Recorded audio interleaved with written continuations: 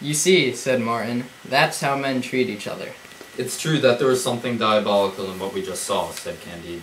As he spoke, he saw something bright red in the water, moving toward his ship.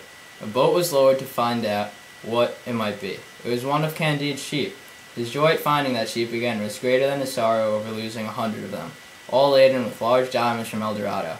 The French captain soon learned that the captain of the Victoria's ship was a Spaniard, and that the captain of the sunken ship had been a Dutch pirate, the same man who had robbed Candide. The enormous wealth stolen by that scoundrel had gone to the bottom of the sea with him. Only one sheep had been saved. This proves that crime is sometimes punished, Candide said to Martin. That black-hearted Dutch captain has met the fate he deserved. Yes, said Martin, but all the passengers on the ship have to perish with him. God punish that scoundrel, but the devil drown the others. The French ship and the Spanish one continued on their way, and Candide continued his conversation with Martin.